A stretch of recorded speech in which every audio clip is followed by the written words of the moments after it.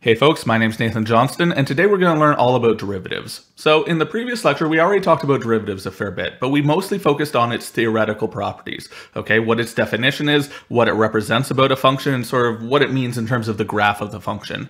In this class, instead, what we're going to look at now is how to compute it, okay? And what we're going to do is we're going to introduce a whole bunch of rules for computing derivatives of different types of functions. So let's get to it.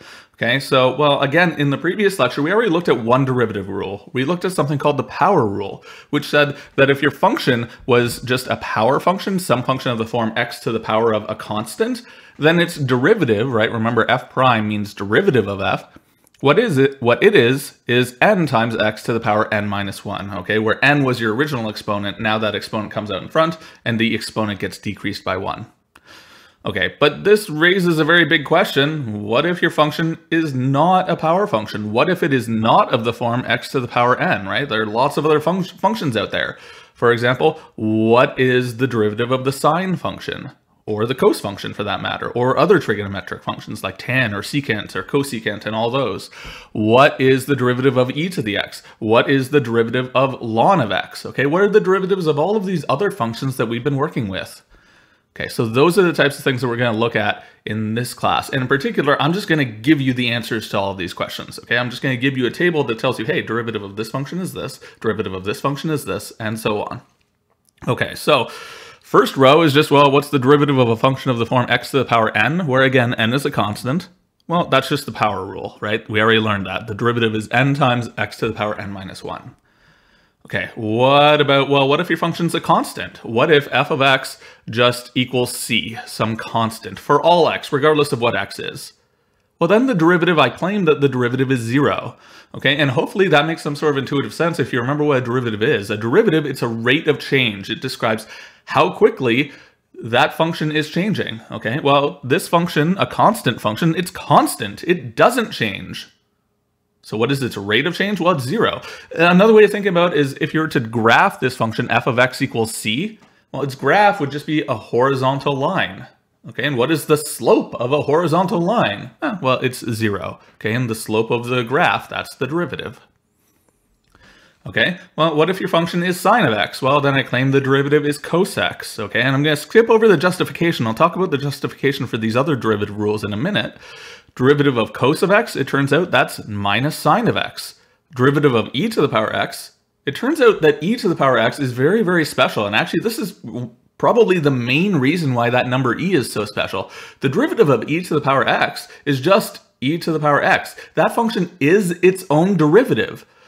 Okay, so if you imagine like the graph of that function, what this means, remember the graph of e to the power x, it looks something like this.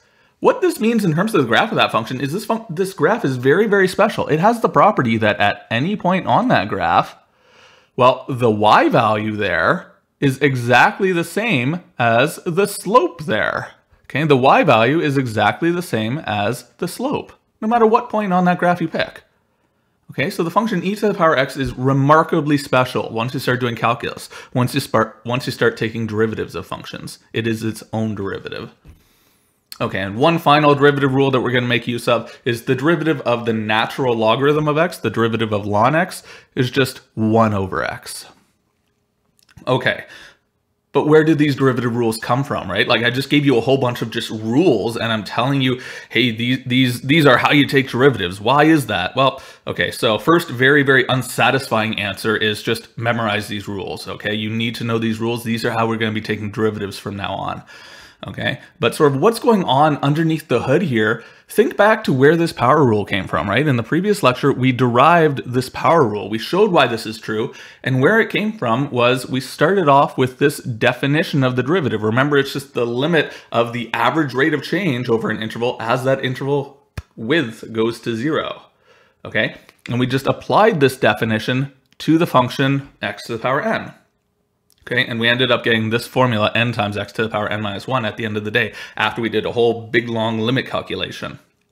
Okay, well you can do that exact same thing with all of these other functions. For example, if I use this definition, this limit as h goes to 0 of yada yada yada, where my function now, where my f of x is sine of x, well you can go through and you can evaluate that limit The techniques to evaluate that limit are going to be a little bit more complicated than anything that we've seen so far in this course. But the answer that you're going to get at the end of the day after you simplify and cancel things out and do everything you can to make that limit easier to work with, you're going to find out that the limit equals cos of x. So in other words, the derivative equals cos of x. Okay, and similarly with all of these other functions, right? If you just plug in f of x equals e to the power x, in this definition, you're going to find that the derivative equals e to the power x as well, okay? So that's why we're allowed to use that derivative rule. We're not going to reuse the limit definition over and over and over again. It's way too much work. So we're just going to use these handily pre-made derivative rules when we want to compute derivatives. All right. So in practice, most of the functions that we're going to want to take derivatives of, they're not just like sine x or cos x or e to the power x. In practice, they're sort of modifications of those functions. They're something like 3 times sine x plus e to the x, right? They're, they're different combinations of those functions, depending on what they're modeling. Okay, but fortunately, that doesn't add too much of a hiccup because we have these two rules that we talked about in the previous lecture. If you want to take the derivative of f plus g, right, the derivative of a sum of two functions, you just take the derivative of the first and you add it to the derivative of the second. Okay, that's all this notation means. It says derivative of the sum equals the sum of the derivatives. Okay, so you can just take the derivative of them individually and then add up your answers, which is what you would probably do naively, again, if I didn't even talk about this. And similarly with scalar multiplication, if you want to take the derivative of a scalar times f, well, you can just take the derivative of f and then multiply it by that scalar. Okay, so here c is just some number. Okay, and by combining these, these rules, we're able to take derivatives of a whole bunch of different functions now. So let's just do a bunch of examples to make sure that we're comfortable with all of these derivative rules that we've seen so far. All right, so to start off, what about this function sine of x plus 5x squared plus 3? How do we take the derivative of that? Well, just think of it as a sum of three different functions and take the derivative of those three functions individually. Derivative of sine, I just go back to my table and I remember, oh yeah, derivative of sine, that's cosine. Great. Next piece, derivative of 5x squared. Well, I know the derivative of x squared is 2x. Okay, and then I just multiply by 5. So 2x becomes 10x. The derivative of this 5x squared is 10x, right? Just think of it as you're bringing the 2 down out in front, so 5 becomes 10, and you decrease the exponent by 1, so it becomes just a 1 now. All right, and then the third function. What is the derivative of 3? Well, 3 is a constant, okay? And again, we talked about this. One of our derivative rules was derivative of a constant function is just 0, okay? So when I take the derivative, this guy just goes away. It becomes a plus 0, you know, just forget about it, okay? So altogether, our answer at the end of the day is the derivative of this original function, sine x plus 5x squared plus 3. Now it's cos x plus 10x, okay? And then plus 0, but we don't need to write the plus 0, of course. All right, so that's our first example. Let's do another one.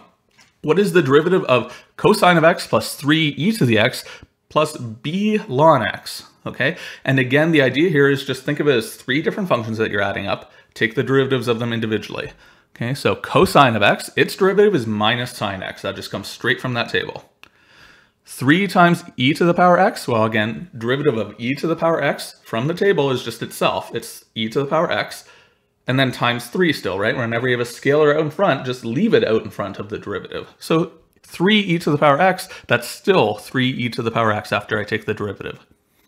All right, sort of the, the slightly weirder term in this one is b ln x, okay? Look at what I've written here. I've said that the function is a function of x, okay? This is a single variable function. x is the only variable. This b, that's a constant. It's a parameter, Okay, so as far as the derivative is concerned, it's not changing, it's fixed.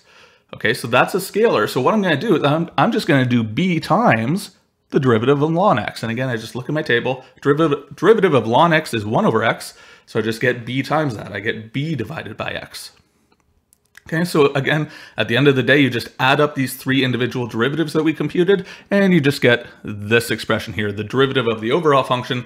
It's minus sine x plus 3e to the x plus b over x. All right, let's do another example. Okay, what is the derivative of f of x equals e to the power r minus bx? Okay? And again, like there's a lot of letters here, okay? But most of these are constants or parameters, right? Again, this is a single variable function, okay? The only variable here is x, okay? Everything else is constant. Everything else is just a parameter of that function. So e, well, that's just that you know, standard fixed number 2.718281828 yada yada yada. R that, I mean, I don't know its particular value. No one's told me what it is, but again, it's a parameter. It's fixed. It's a constant, okay? So it does not change as x changes. And similarly for b here, no one's told me what it is, but it's not x. It doesn't depend on x. It's a constant or a parameter. So when I take the derivative of this function here, well, I start off, take the derivative of this first piece, but that first piece, that whole thing is a constant right? Remember, r is a constant, so what's e to the power r? Well, it's just 2.7 whatever raised to the power r. That doesn't change as x changes. There's no x's in there. So it's still just a constant. So this first piece here, when I take its derivative, is zero. Okay, and then the second piece, when I take its derivative, well, x, think of x as x to the power 1. Okay, so what happens when you take its derivative is that 1 comes out in front and it becomes x to the power 0. It's 1 times x to the power 0 which is just the number one. Okay, so when I use my power rule on that, what's going to happen is, okay, e to the power r becomes 0, and minus bx, that just becomes minus b. The derivative of x itself is just 1.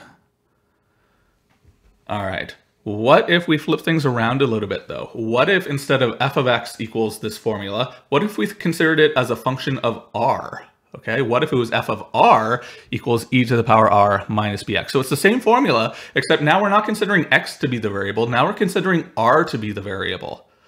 Okay, and what happens now is when we take the derivative, now we're thinking of r as the variable, so that's the thing that's changing. So that's what we, that's the piece that we have to use our derivative rules are on. e to the power r, what's the derivative of that? Well, it's just e to the power r. And then minus bx, what's the derivative of that? With respect to r. How much does minus bx change as r changes? Well, it doesn't change at all as r changes. This minus bx is now a constant because it doesn't depend on r. Okay, so what happens now when we take the derivative? We get the derivative of f of r is just e to the power r, okay? Because our variable now is r instead of x.